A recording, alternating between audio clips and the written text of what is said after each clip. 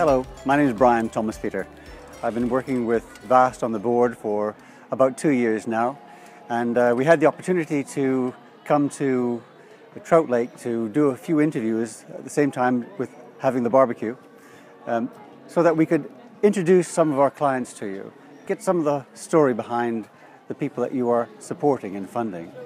The important thing for us is that you understand they come from very interesting and sometimes really well developed backgrounds, and they come here and it's a complete traumatizing shock to them. In addition to the things that sometimes have happened to them that makes it even more complicated, some of these people have managed to get a grip with our help on their lives and on their futures and are making a fantastic contribution. And we wanted to show you some of that in a short interview today. I hope you enjoy it. I, I belong to Afghanistan and uh, uh, yeah, back home I, I was uh, a social aid worker along with my whole my family, like my father, my uh, sisters, my brother. Uh, we were human rights activists.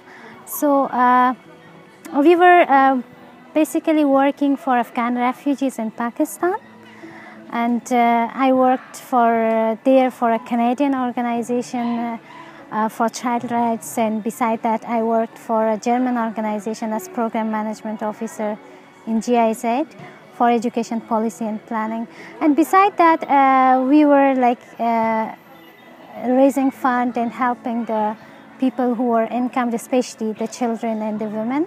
I was an actor back home I was an actor back home. Uh, all that uh, was uh, was really destroyed, I think, because I have no capacity to go back to to act.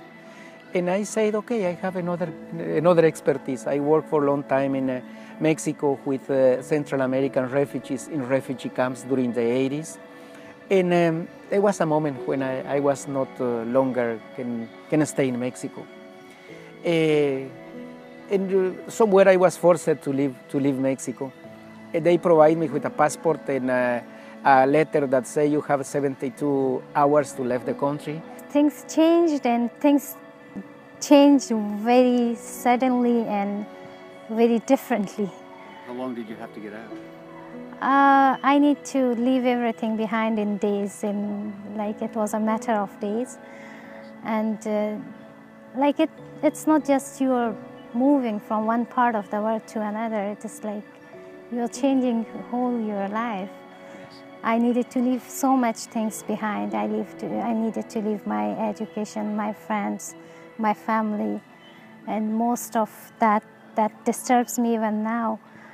Uh, the people that you were helping. Yeah, that I was helping. That I uh, I had the sense of also not I, I, I was not only helping them I had the sense of belongingness yes. I was myself a refugee in Pakistan right. I have been throughout my life as a refugee but uh, yeah no one wants to leave their own country no, no one wants to leave their people unless they uh, they don't have to let's say that uh, when we are refugees we never plan to to go to go around the world.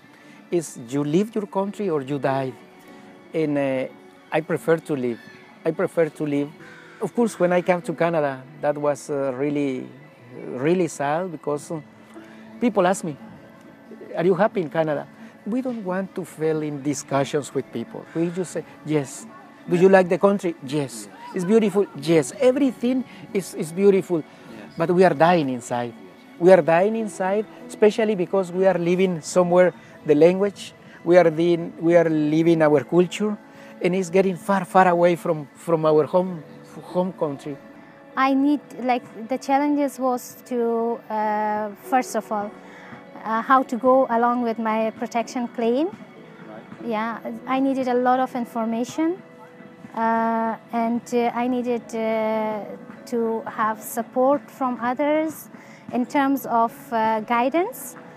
And at that time, I was like, as I was, I was coming with very bad memories after like a whole shock.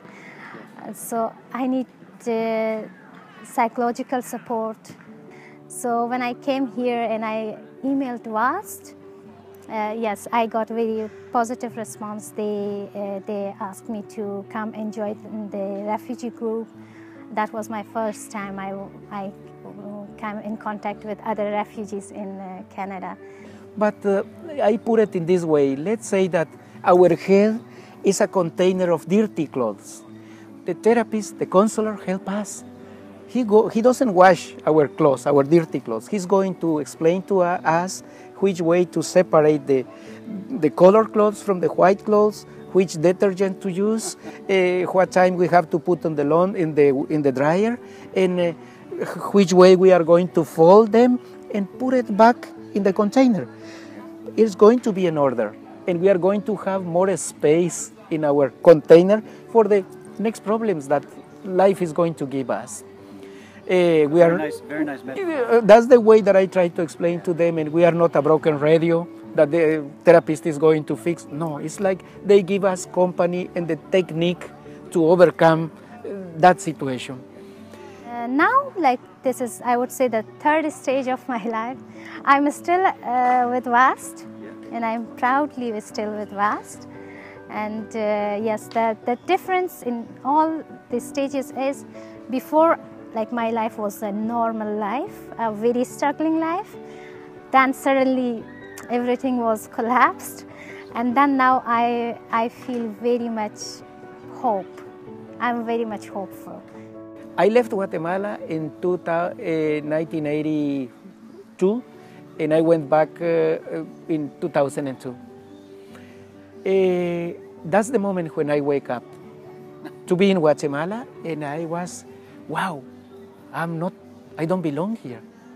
But I always refuse to belong to Canada. It's like I was preparing myself to go back, but economically never prepared myself to go back. And when I went back and I saw, I thought, wow, there are three Guatemalas. The Guatemala that I left, the Guatemala that I found when I went back, and the Guatemalan I dream to build. Uh, really difficult because the emotions different. To be back in your home country and uh, and to be ashamed that um, we didn't change we didn't change totally the society. It's like to go back and um, when the airplane was uh, circulating you know, Guatemala City is in a valley, and usually the airplanes they do a lot of rounds because they can land. I was watching the little lights, and uh, so difficult. That was the first time I uh, land in Guatemala with my passport. I never land or I never got out with uh, my real passport and my real name. That was the first time. And uh, we go to rural areas and try try to do my contribution in that case. I am not resolving the Guatemalan situation of the poor people, but uh, at least I am doing my contribution. You're doing something. I'm doing something, and that is like a therapy to me. Yes. Eh, it's not I'm washing my hands, it's because I need to do something. Yes. And for some reason, I got in that addiction, that hobby, that religion, that sport to my family. And they try to do as much as they can. But I always say, wow, that is really important because uh, uh, I accomplished to survive in Canada. But I didn't accomplish to change the Guatemalan, the, the, the Guatemalan situation. It's still a frustration, but uh, now I can talk about. Even I can talk about with other Guatemalans in Canada, with other Guatemalans in Guatemala, and uh, that helps me a lot. So. And now I am, I'm, I'm planning to go back to school, and uh, I'm planning to be self-employed somehow. I want to start my own small business. I'm like in, uh, in the process of contracting and uh, formal uh, negotiation with the um, partners. Yes, but soon I will be starting my business. And you feel confident about that? Yeah, I feel, I'm feeling confident. That's true. I achieved so many things, so many things.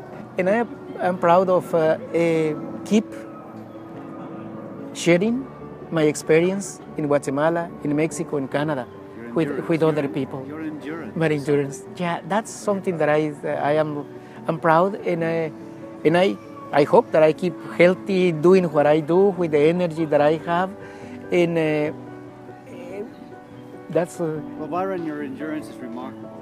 Thanks Thank very much for coming. Thank you. speak with us. Thank you for inviting me. Thank you. And thank you to BAST. Ah. Thank you. Always I'll be, I'll be grateful to the counselors of, of BAST. Yeah, thank you. Thank you. So, if you'd like to make a contribution and support the work of VAST, it's a very important cause for these people that are coming to Canada, often in very difficult circumstances. They manage to make progress and make a terrific contribution to our country. Please go to our website and make a donation. Every penny counts. Thank you.